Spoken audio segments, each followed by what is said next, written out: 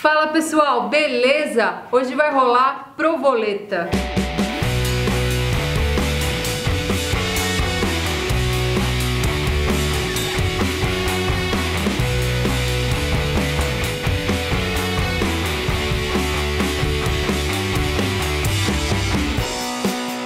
A provoleta não é um prato italiano, acho que é um prato argentino se eu não me engano. Comenta aí embaixo se você souber.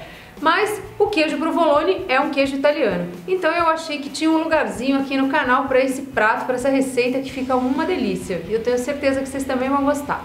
Então vamos aos ingredientes. Você vai precisar de queijo provolone, tomate cereja, cebola, mel, vinagre balsâmico, azeite, sal e pimenta do reino.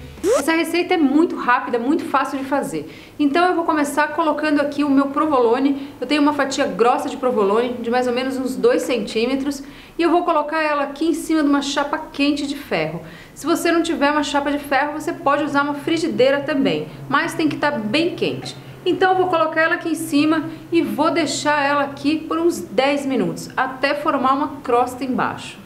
E para nossa provoleta ficar ainda mais gostosa, eu vou fazer um molhinho aqui para acompanhar que fica muito gostoso. Então eu vou começar cortando os tomates ao meio.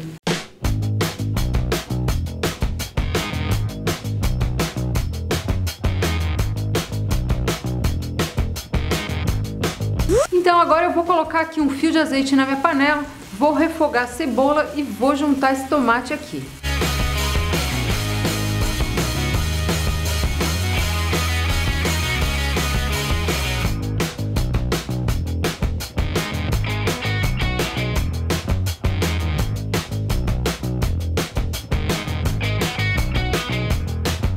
Dei uma refogadinha aqui no meu tomate e agora já está pronto. Vou desligar e vou adicionar aqui o vinagre balsâmico, o mel e temperar com um pouquinho de sal e pimenta do reino.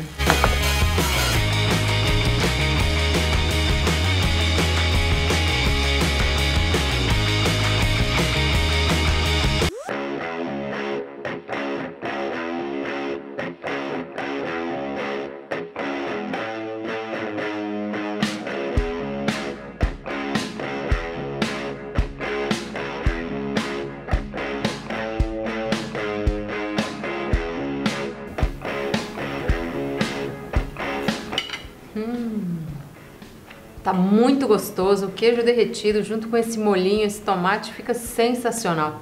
E essa casquinha por cima, então, cara, não tem o que falar. Experimenta fazer aí, depois você me fala.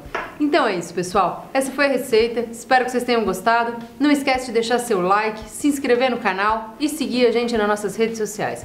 E quando fizer, posta no Instagram com a hashtag PastaRoll. A gente se vê no próximo vídeo. Até mais!